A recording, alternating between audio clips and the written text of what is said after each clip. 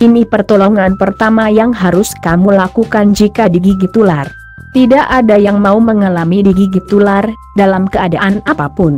Tapi nyatanya, ada sekitar 150 ribu orang meninggal dunia tiap tahun akibat gigitan ular dan sekitar 400 ribu orang harus diamputasi sebagai akibat dari kejadian tersebut.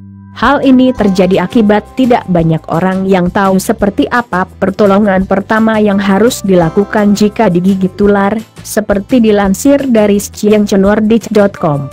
Para penulis buku berjudul Australia's Dangerous Snakes merangkum dari berbagai sumber dan pengalaman sebagai cara menangani jenis ular paling berbahaya di dunia sekalipun kami mendeskripsikan berbagai metode pengobatan pasca gigitan ular yang tergolong berbahaya, ujar penulis buku dan ahli biologi Arne Stedt Rasmussen dari School of Conservation Denmark.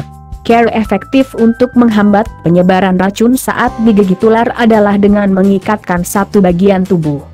Jika digigit di jari, maka sebaiknya Anda mengikatkan perban atau kain pada bagian pergelangan tangan. Care ini dilakukan agar racun tidak menjalar ke bagian tubuh yang vital seperti jantung. Dengan care ini, penyebaran akan terhambat meski racun sudah masuk melalui kapiler, pembuluh darah terkecil. Care lain yang bisa dilakukan adalah dengan segera ke rumah sakit. Penyebaran racun ular tergantung pada jenis ularnya. Penyebaran racun bisa memakan waktu dari 20 menit hingga 72 jam. Rasmussen juga menjelaskan jika ada fakta yang keliru soal upaya penyelamatan apabila digigit ular. Di masa lalu, disarankan untuk membuka titik gigitan lalu menghisap racunnya agar keluar. Faktanya, penelitian yang dilakukan tahun 2002 yang diterbitkan oleh New England Journal of Medicine menunjukkan bahwa metode ini tidak efektif.